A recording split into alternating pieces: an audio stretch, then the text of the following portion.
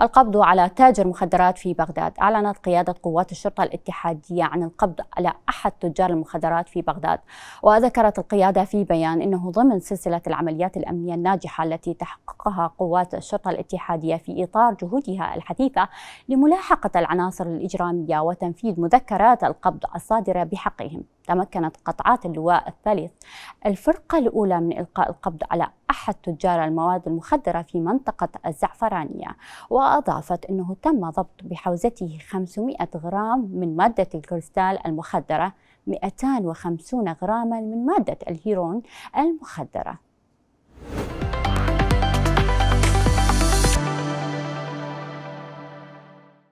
إذا مشاهدينا الكرام تفاصيل أكثر حول هذه العملية وكذلك جهود وزارة الداخلية في مكافحة المخدرات في العراق. ينضم معنا عبر الهاتف العقيد بلال الصبحي المتحدث الرسمي باسم مديرية مكافحة المخدرات. أهلا وسهلا بك سيادة العقيد.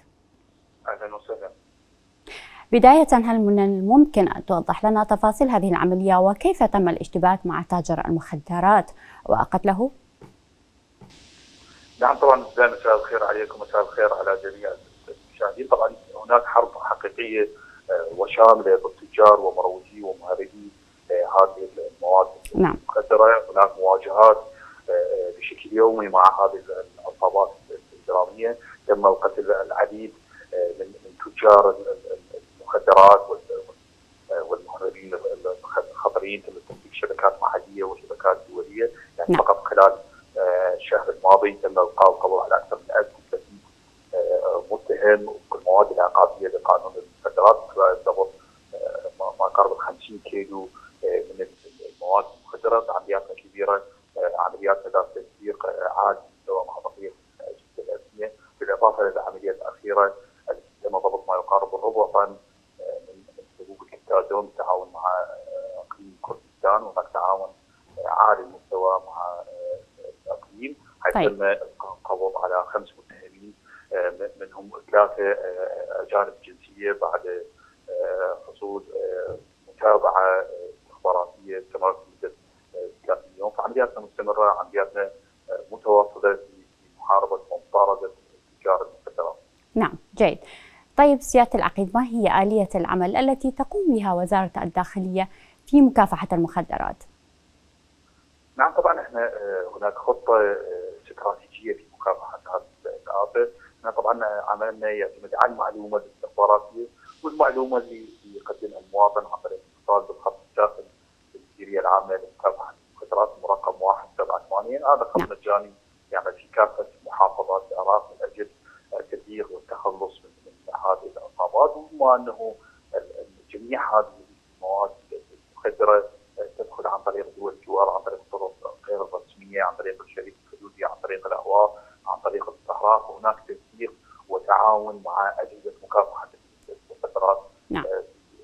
بدول الجوار مثل ما تم انعقاد مؤتمر في عقد في ايار الماضي وهناك تنسيق مع رؤساء اجهزه مكافحه المخدرات دول الجوار من أجل نجرة التنسيق والتعاون تبادل المعلومات تبادل الخبرات في محاربه هذه نعم طيب في السنوات الأخيرة في العراق تحديدا انتشرت هذه ظاهرة المخدرات في المجتمع العراقي لكن اليوم نريد نعرف كم تبلغ نسبة انتشار هذه المخدرات؟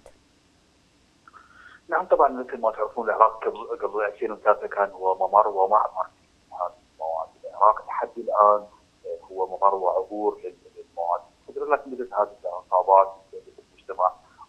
فئة الشباب خاصه يعني نعم. إذا تسوي مقارنة بالتطبيقات يعني العام الماضي تم ضبط نصف طن من هذه المواد المخدرة خلال هذا العام والعمليات الكبيره أو العمليات النوعية تم ضبط ما يقارب الاربعه طن من المواد المخدرة. اغلبيه هذه العمليات هي عمليات نوعيه واستباقيه في في محاربة هذه الجريمة وذلك لأن هناك توحيد بالجهد الاستخباري مع بقية الاجهزه الامنيه ولكن مو مو جميع هذه المواد تكون نعم.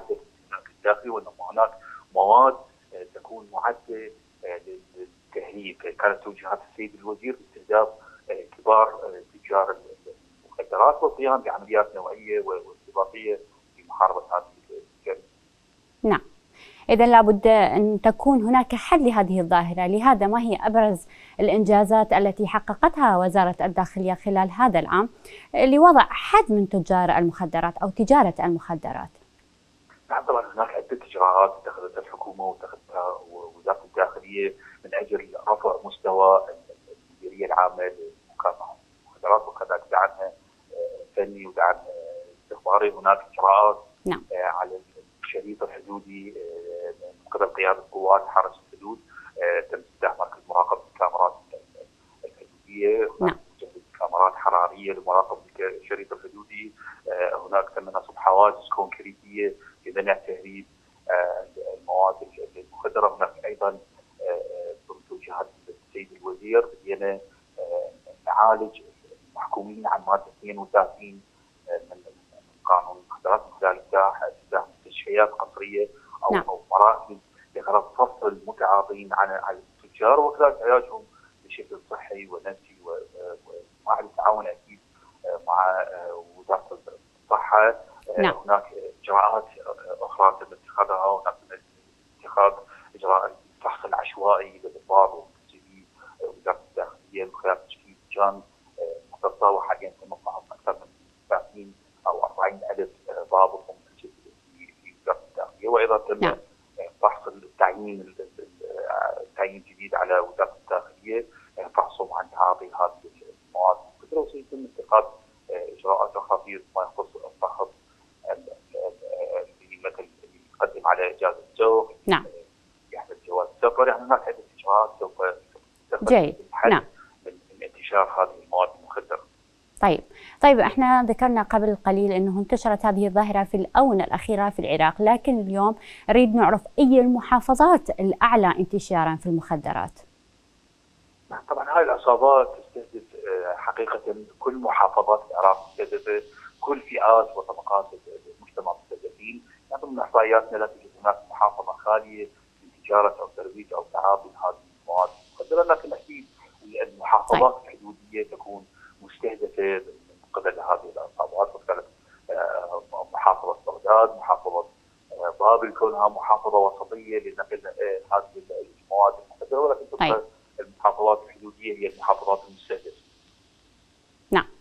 طيب أعلن وزير الداخلية لقناة زكروس الفضائية حصرا عن آلية عمل وتعاون جديد بين الوزارة وبين حكومة إقليم كردستان هل من الممكن أن نتحدث آه، بشكل تفصيلي عن هذا التعاون للحد من هذه الظاهرة اللي هي ظاهرة المخدرات نعم طبعا بما أن جريمة المخدرات هي جريمة منظمة دولية عابره الحدود وعابره الوطنية يجب أن يكون هناك تعاون وتنسيق آه، مع كافة الاجهزه الامنيه مع ما شاء الله حتى مع نعم.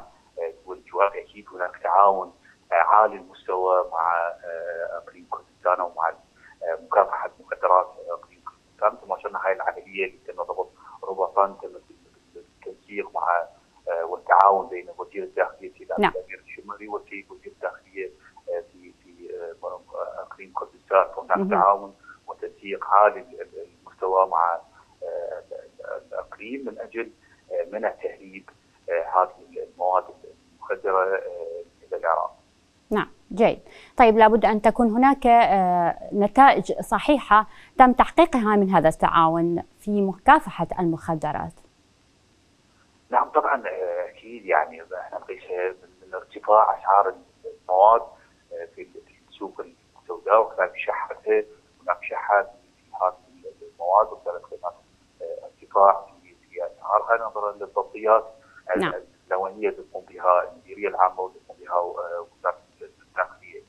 فإن شاء الله بالمستقبل القريب هناك حد كبير في في انتشار هذه المواد المخدره. نعم. طيب لابد أن تكون هناك رسالة لديك توجهها إلى المواطن العراقي ولكل الفئات العمرية.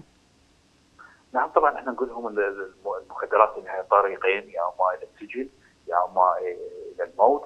يجب أن تكون لدينا ثقافة التبليغ آه، عن هذه العصابات الإجرامية عن طريق اتصال الخط الداخلي للمديرية العامة لمكافحة المخدرات المرقم 178 وكذلك ثقافة العلاج. أي شخص يتورط ابنه أو يستدرج تعاطي هذه المواد المخدره يقدر نعم. يروح يتعالج في احدى ال- المستشفيات المختصه بعلاج الإدمان وفي اللحظه لا تقام أي دعوة جزائية. عليه. شكرا لك سيادة العقيد بلال صبحي وشكرا لك على هذه الجهود المبذولة. شكرا لكم. شكرا لكم. إذا مشاهدينا الكرام أكيد مستمرين وياكم بعد الفاصل.